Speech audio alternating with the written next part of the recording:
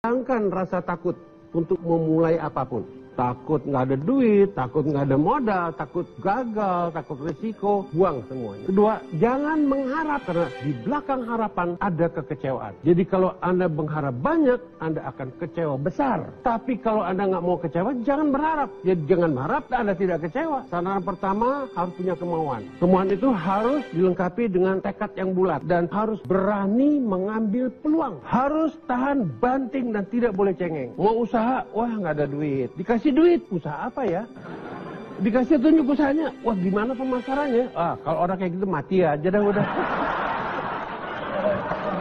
Bersyukurlah kepada Sang Pencipta.